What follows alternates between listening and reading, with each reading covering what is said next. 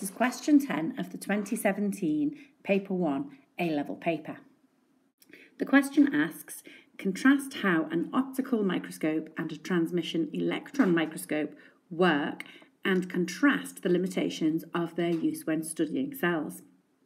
Because this question asks for you to contrast, what we need to do is write opposing statements. Now, a lot of this was learned early on at A level, and it was basically just um, remembering. So it's just recall. So what we need to do is make sure that we word our answers carefully. So we're going to say that a transmission electron microscope uses electrons and an optical microscope uses light. The and in there is really important because that's what makes it a contrasting statement. TEM allows greater resolution. Now we don't have to put the contrasting statement there because we've used the word greater meaning more than. In the next one, we're going to say that because it's got greater resolution, smaller organelles can be observed. And we have to make sure that we're clear here.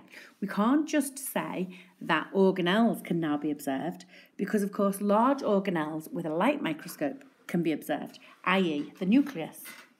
We can say that the TEM views only dead material and the optical microscope views live specimens. We say that the TM, TEM does not use colour, but an optical microscope can. That the TEM requires thinner specimens, again, because we've used thinner, that is a comparative word in itself. The TEM requires a more complex preparation. Again, the word more is a comparative word, so we don't have to now write about the optical microscope and the TEM focuses using magnets and an optical microscope uses lenses.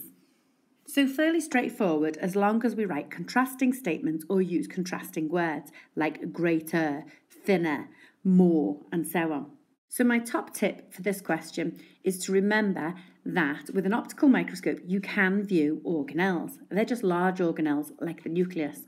The transmission electron microscope enables us to view smaller organelles like the mitochondria. And remember that the TEM doesn't do 3D images. That's the scanning electron microscope. Okay, looking at the next part of the question, it says Figure 6 shows an image from an optical microscope of meiosis occurring in a flower bud of a flowering plant. W and Z are undergoing meiosis. Now, just a few words about that. You'll remember from GCSE that uh, in flowering plants, chromosomes come in pairs. In non flowering plants, they don't. An example of a non flowering plant would be like a fir tree. Back to the question, it asks you to explain the appearance of W and Z.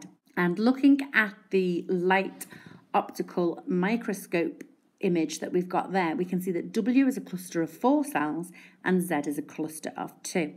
So in essence, what this question is asking us isn't to describe those clusters, but to explain them. In other words, the question may as well be asking or testing what are the outcomes of the first meiotic division and the second meiotic division.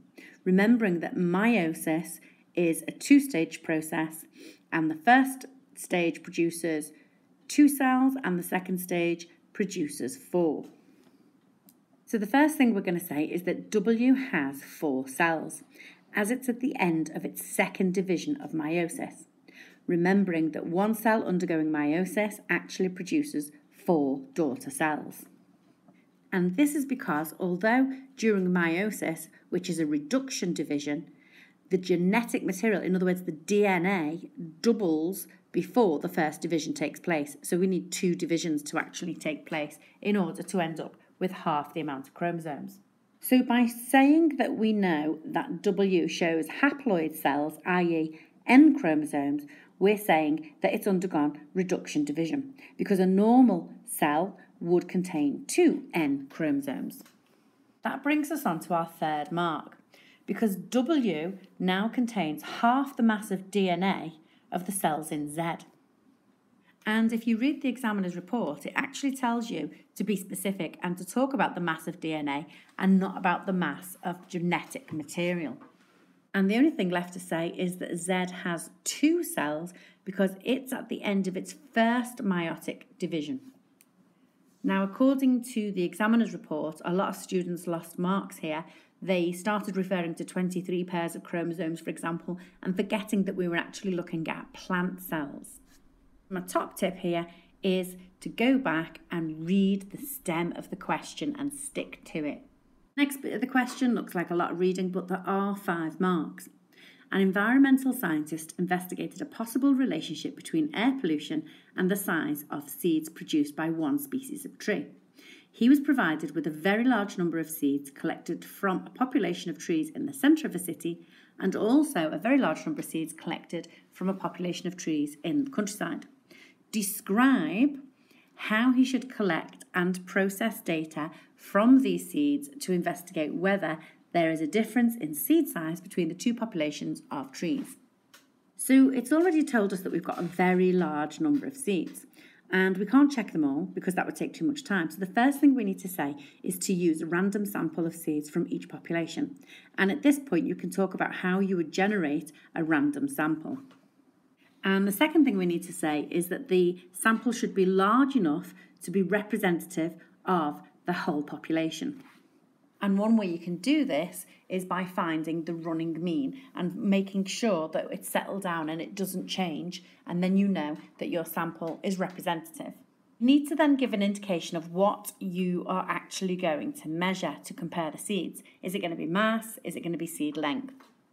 Then, when you've measured that, you're going to talk about calculating a mean. We're not calculating an average because remember there are three types of average. We're calculating a mean and then we're going to use standard deviation for each population to see if there is an overlap. Suggesting that there isn't an overlap and that there might be a difference, we would then go on to the student's t-test to find out. From the t-test, we would analyse if there was a significant difference between the two means of the two populations, and that can only be done following the statistical test, not from just the standard deviation. My top tip for this question would be to recognise that we can only use the word significant following a statistical test that is not the standard deviation. Once again, I hope you found the video useful. Please do leave me a comment.